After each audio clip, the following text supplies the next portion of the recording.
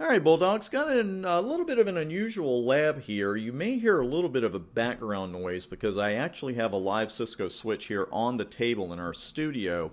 And of course, it's usually down the hallway in our server room with everything else. But I needed immediate access to it because I want to show you this dynamic entry and what happens when, say, a port changes on us or a port goes bad. A couple things I already have on the screen here. First off, show MAC address table, and again, depending on the IOS version you're running, you may just need one of these hyphens or you may need both. It's just one of those things. And here we've got a lot of entries for the CPU and a lot of static entries. You will notice they're kind of in a row here, right? Because we go 789 and then A, B, C, D, E, F, because of course that's hex. And then we've got one dynamic entry here at the very end. So it says total MAC addresses for this criterion 21.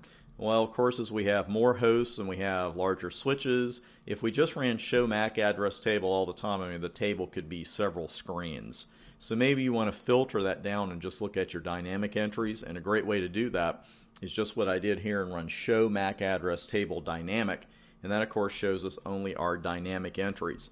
Now, let's say that port 03 suddenly has a physical issue and the port goes bad we have a couple of options there. As long as we have an open port on the switch, which we do, and they're all in the same VLAN, or the port that we're, excuse me, the port we're moving this cable to is in the same VLAN as port 3 is, then we're fine.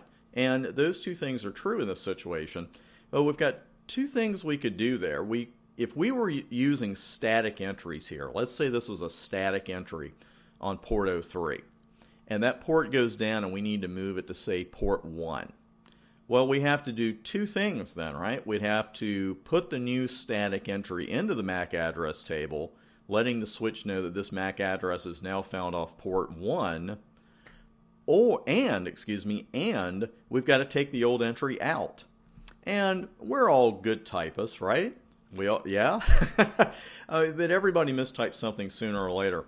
And the thing is, the more MAC addresses you're entering statically, of course, the odds increase that sooner or later you're going to mistype one letter, and then all of a sudden you're looking at the address and you don't see what's wrong with it, and this person's been off the network for a couple of minutes now. The phone starts ringing, cats and dogs start living together. It just goes to heck in a handbasket from there. So, static entries, you know, I, I know companies that use them, I've seen them on occasion, but it's so much more efficient to have this learning done dynamically, and we're going to test that right here. What I'm going to do using a highly scientific method is go to the other end of the table, move the cable from one port to another, and we're going to time a bit, see how long it takes. Now, the timestamps won't tell us exactly when that entry is made, uh, but I've got a little timer here, and I don't think it's going to take very long. So let me move on over. And I am now moving the cable.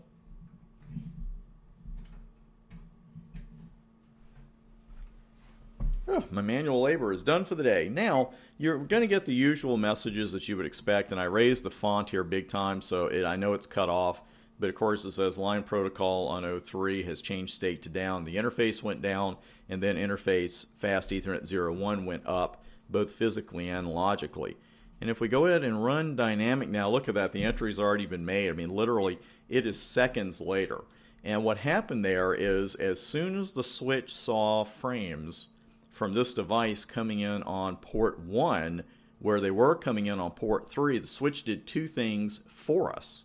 The first thing it did was remove the old entry because it's saying, okay, I was getting frames from this guy on port 3, but now I'm getting them on port 1. So I need to change my MAC address table. Then on top of that, it took the old entry out and then quickly made a new one, and literally it just took seconds. That's why it is so efficient, so much more efficient, time efficient, uh, and efficient overall to just let the switch keep the MAC address table dynamically. Just wanted to show that to you live, so we moved the switch in here so we could do that. And having wrapped this video up, let's head for the next one. See you there.